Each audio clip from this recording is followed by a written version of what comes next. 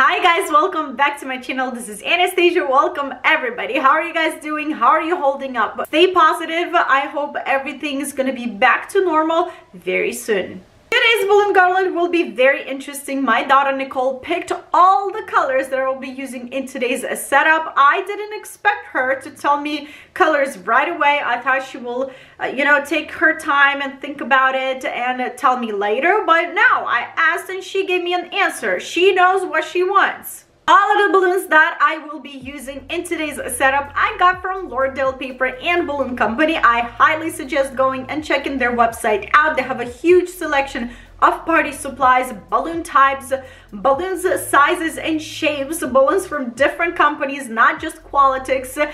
If you are a new customer to Lordale Paper and Balloon Company, you can always use my code Anastasia10 for 10% off at checkout. This is an affiliate code.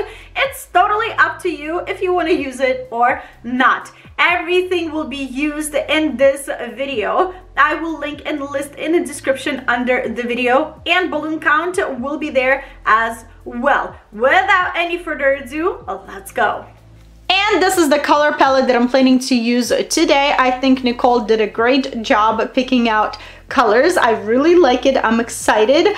We have this citrine yellow in three sizes, a 5, 11, and a 16. This is wild berry over here, three sizes as well, 5, 16, and 11, and pearl lavender in 5 inch. I will be also using a whole bunch of white balloons. I will probably double stuff these balloons on top of all the balloons. I am using electric balloon pump low temperature glue gun balloon tying tool 20 or 30 pound fishing line. All right, first things first, before I even start blowing and double stuffing my balloons, I want to construct my acrylic stand over here.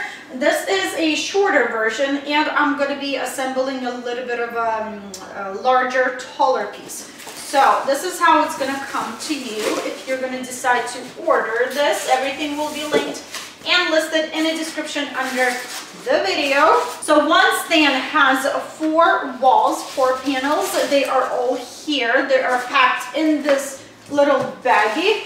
And, and it does have these two lids, one for the bottom and one for the top. So at the very bottom, if you dig deeper, underneath all of this foam, this box has instructions and lots and lots of zip ties and acrylic ties as well. Let's unpack our walls and these acrylic uh, walls, they are protected by this kind of like a matte whitish looking film. You need to uh, peel that top layer off to expose that clear and nice glossy acrylic and uh, what is this? It's a little damage over here. I don't know what happened there. Flip it over. Taking my second piece and I'm doing exactly the same what I did with my first wall. I'm exposing my acrylic by peeling off that film and I'm gonna do that to third and fourth wall as well. Stand, acrylic stand, it does come with these baggies, as I told you in the beginning, uh, with zip ties and acrylic ties right here. I like these acrylic ties, these little thingies right here, because they are translucent. When I tie these acrylic thingies on my um, stand, they were untying themselves. So I would double knot them, triple knot them, and they would still untie themselves. And I had to scrap these, even though I like that they're translucent and you can't tell that these ties hold the whole structure. I had to scrap these and work with these white zip ties, which they are better. They do hold the whole structure better together, but right here you can totally tell that these zip ties, they do hold this whole thing together. Maybe in the future, I, I was thinking to just glue them with some type of glue for acrylic, I don't know. I'll figure this out a little bit later and just glue them, you know, on sides and scrap these zip ties. While he's holding, I am taking my lid and I am putting the lid right on top of my structure. Here is how this stand looks without zip ties. The reason why I put the top lid on top just to hold these four walls together it will be much easier uh, for us to you know zip tie these walls right now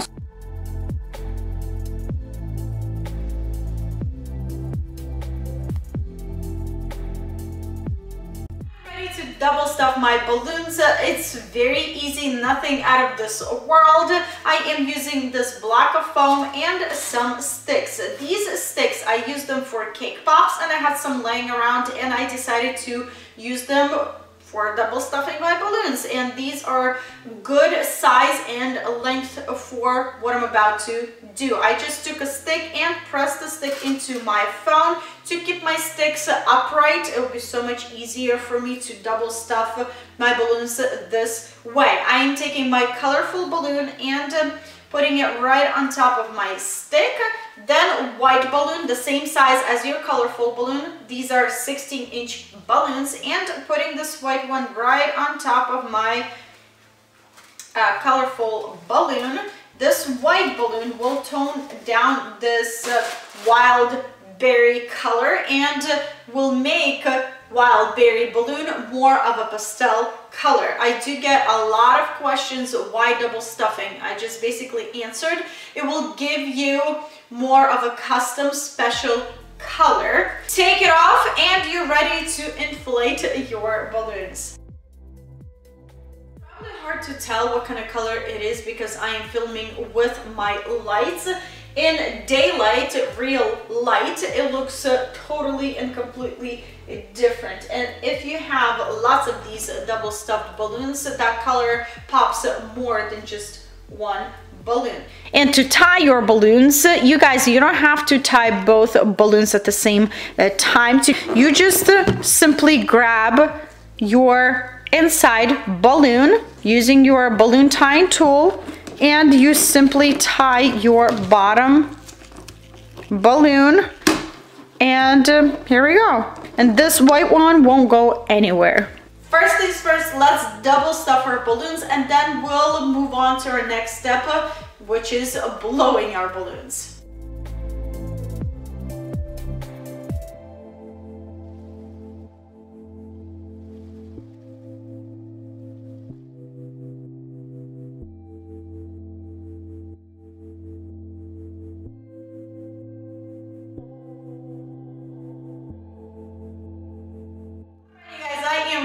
to blow all of my balloons. I am planning to blow my 11 inch balloons into different sizes. So instead of just having 11 inch balloons, I want to blow them into like 10, 8, uh, 9 inch different sizes and then pair different sizes together. I will be mixing up the colors. I will be mixing 5 inch with 11 inch and 16 inch. I mean, just just pair your balloons however it comes out to be. Before blowing all of the balloons, I want to show you what I do with my 5 inch balloons because they can be a little bit stubborn um, while blowing them with electric balloon pump.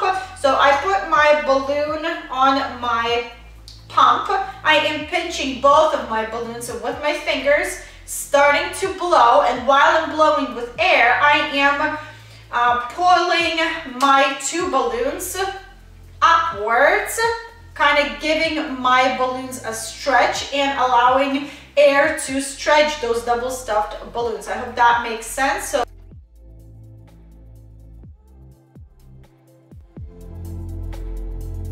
After blowing your balloons, just press them against the floor to give your balloons more rounder shape and then pair them together. As you can see right here, two totally different sizes paired together. Keep on mixing sizes, keep on blowing.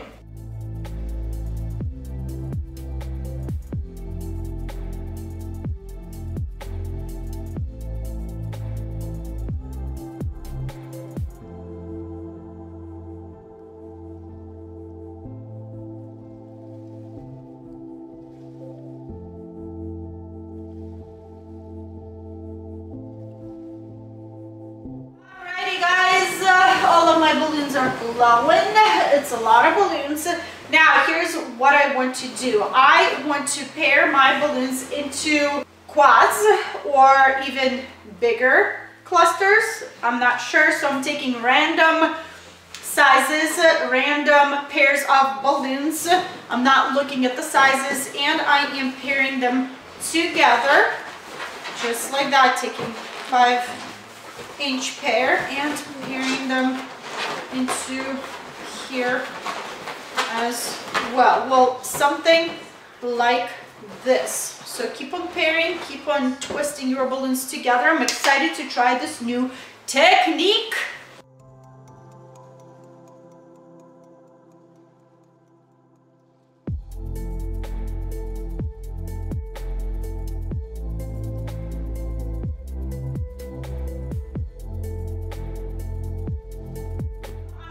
Some things up instead of using my fishing line. I want to try something different. This new technique I've seen a lot of people do this and I want to try it as well. So I have a whole bunch of these uh, 360s I don't know how what's the proper name of these. I call them long balloons. I will take them and create my own uh, rope to construct my base. So I am taking my balloons, two long balloons, and I am tying them together to create one long one. It holds pretty well. And I want to tie one more. And uh, for now, I'm gonna stop here. We'll see how many balloons I can tie with three long balloons. Maybe, who knows, it's gonna be my favorite way to make garlands from now on. So I'm taking my first cluster of balloons. I tried to pick uh, the one that has more bigger size balloons and I am tying my balloon rope, I'm gonna call this like that, to my first cluster. So now I am taking another cluster, whatever you feel like you want to add, and just putting on a spot. So let's do it here. Then I'm taking my balloon rope and I am starting to wrapping around my balloons, random balloons, a couple of times to make sure they're going to stay put on my base. Kind of shuffle your balloons around. Another cluster. Right there. And again, doing the same thing, putting my cluster and wrapping my cluster tightly to previous balloons. I hope that makes sense. This technique is great because you don't have to uh, fill in spaces later. It's gonna be like a filled in balloon garland right away. That's how I'm gonna build my balloon garland today. I need to extend my balloon rope so I'm tying another balloon you guys my hands are so filthy right now from all the powders and things. So let's construct the rest of our balloon garland. I am excited to see what this whole thing will look like.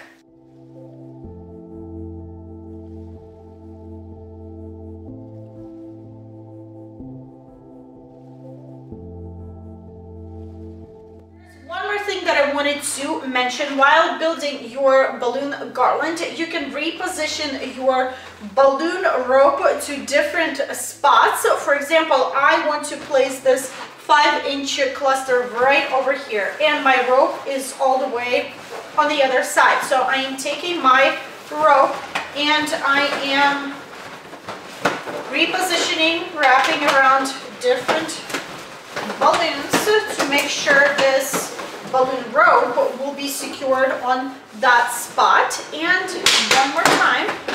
So it's for sure going to be on on the spot where I want it to be. Then I am taking my uh, cluster and I am securing this cluster right where I want it to be and it's not going to go anywhere. Definitely wrap your rope around totally random balloons, not just this cluster to make sure this whole spot will be secured and clumped together.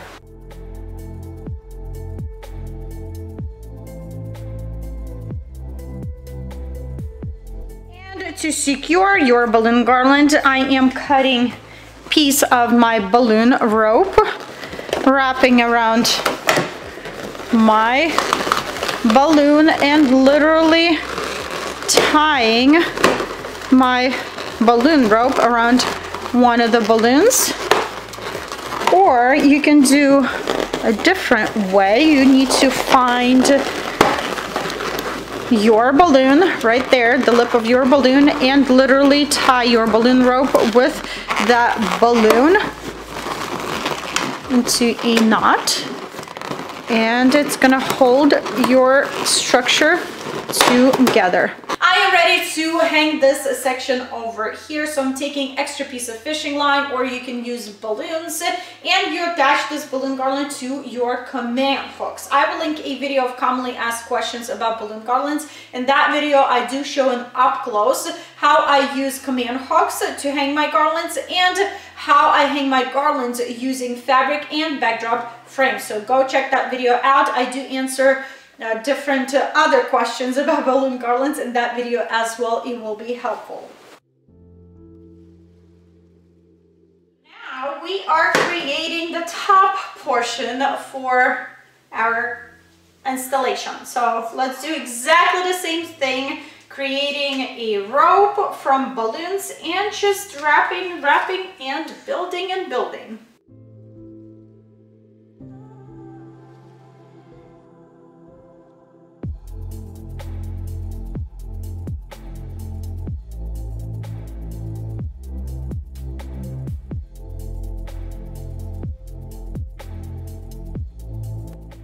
Very nice and very, very cute. I like it. It turned out even better than I expected, honestly. Now it's time to fill in spaces with the remaining of our balloon clusters. I am taking my blown balloons that I used to construct this whole thing and I'm literally tying my clusters to my balloon garland. You can use fishing line, curling ribbon, or glue dots, but use a lot of glue dots per cluster to make sure your cluster will stay on your balloon garland for a long time. Or you guys, you can always use low temperature glue gun. That's another option. That's probably what I would do uh, next if I wouldn't have enough balloons to tie to my garland. So anyways, let's go and fill this balloon garland.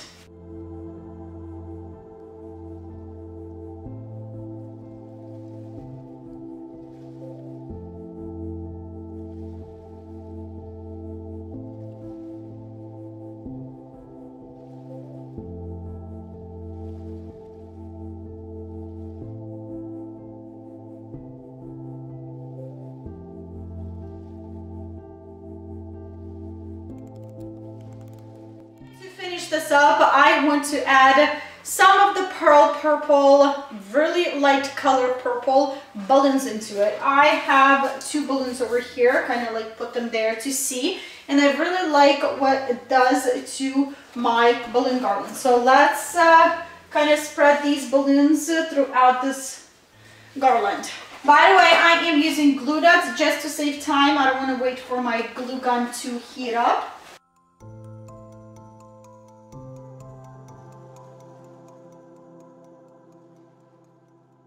Finish everything off, I am taking a whole bunch of flowers as you can see here. This, These two buckets, I had them for a while. I bought all of these flowers from Walmart. I can't remember the price of them, but then this part over here, these beautiful, beautiful flowers I got from AC Moore, we have a store that is going out of business and they had a crazy, crazy deal on flowers. So I got lucky. I got $430 worth of uh, flowers and other greenery and I paid only 130. I mean, what a saving, right? So I'm taking this lavender over here. My son Victor is helping me to unpack these. And I want to stuff my acrylic stands with flowers. We'll see how that's gonna turn out. I've never done anything like this before. Uh, first time for everything. I took top lid from my acrylic stand and I want to fluff these um, flowers up just a tiny bit so they would kind of like be more fluffier looking. So you guys, as you can see, I'm just dropping them into my acrylic stand and it works pretty good, you know, it looks really cute and you can't really see the stands that much. So I'm gonna try to fluff these up a little more than I intended to to kind of give these uh, flowers more spring. So if a flower lays on top, it's not going to squish these flowers too much.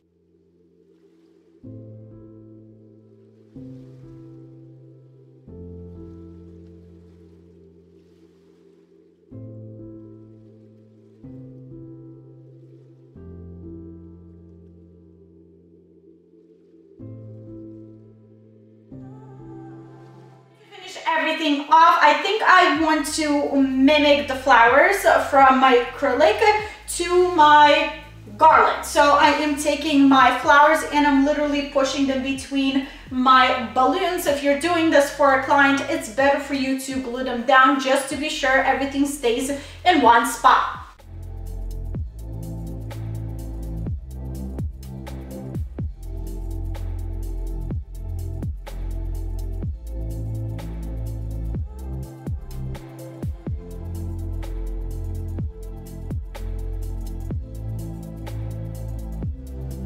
Here is what I have for you guys today. This is my setup, you guys. I am loving everything that I see here. This is my favorite setup up to date, you guys.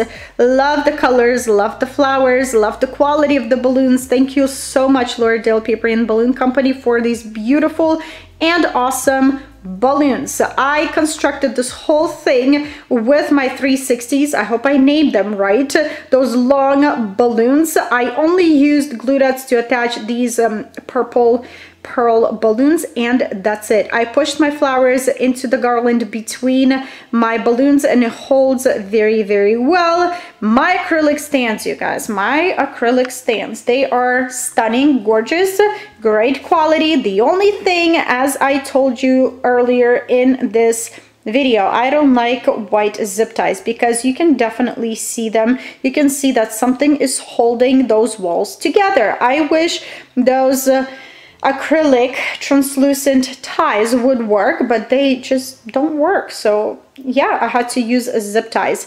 I will link and list everything in the description under the video and a few pictures will be at the end of this video as well. This is it, you guys. This is my take on this balloon garland. I hope you enjoyed this video. I hope it was helpful and entertaining. If it was, don't forget to give it a thumbs up, share it with family and friends. That's always helpful. If you have any additional questions, leave them in the comment section below. I will be there to answer them all and help you out to the best of my ability. If you're new here, don't forget to hit that subscribe button for more videos and interesting ideas. And I hope you have a wonderful day and I will see you back very soon. Bye!